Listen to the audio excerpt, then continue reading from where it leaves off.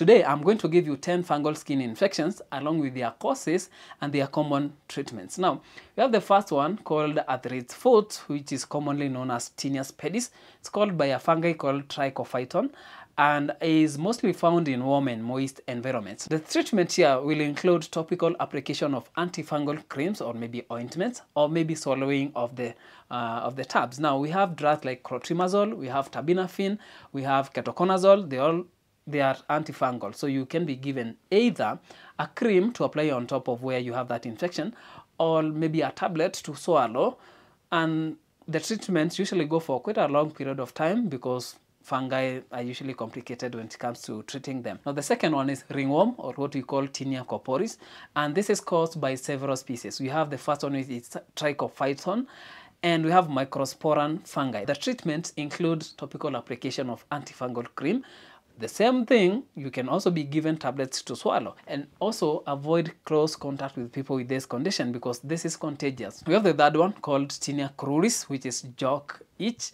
and this is a fungal infection which commonly affect the groin area due to moisture and friction in that area. Now, the same thing, topical application of creams and wearing loose fitting clothes also, keep the area dry because it's prone to getting that infection because that area is moist, especially from the sweat. Now, the fourth one is nail fungi, what we call onychomycosis, and this is caused by a fungi that we call dermatophyte. Now, treatment will include oral antifungal drugs like terbinafine and also topical applications. In addition to this, the removal of, um, according to how severe this case is, removal of the toenail, or um, something like laser therapy. Now, number five is candidiasis, which is a yeast infection by um, a fungi called Candida albicans. This is mostly found in warm and moist areas like in the mouth, we have vagina and where the skin folds. Now it likes where we have moisture. Now the treatment here, topical application, we have oral antifungal when it comes to severe cases and also maintaining a good hygiene when it comes to vaginal health and also maintain your pH in your vaginal canal because it affects how you're going to get this infection. And also if you have a condition which is causing you to be immunocompromised, you'll have to fix that.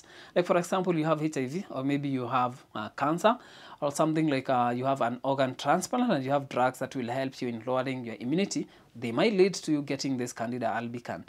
So um, always make sure that you have that underlying condition first of all fixed before you go to now treating this infection because it will reoccur. Now we have tinea versicolor caused by Malassezia yeast. We have Malassezia furfur and they lead to that those discolored patches on your skin. You can treat this by using topical application of antifungal creams. You have medicated shampoos for the scalp and also you avoid excessive sun exposure.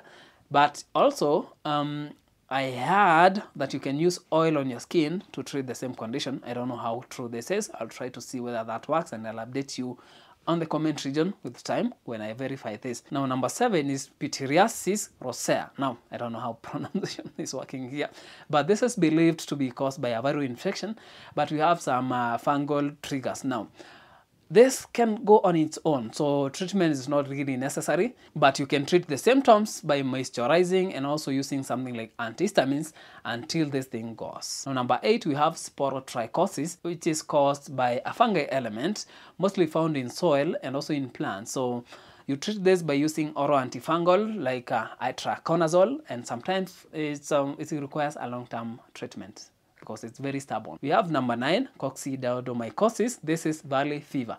And this is caused by inhaling the spores to this fungal element. Now, this is it's limited to some certain regions, so it's endemic to some certain regions. And the treatment will uh, require antifungal medications like fluconazole. We have itraconazole for severe or prolonged infections. Now, this is still stubborn, so you'll have to take uh, this medication for quite a long period of time.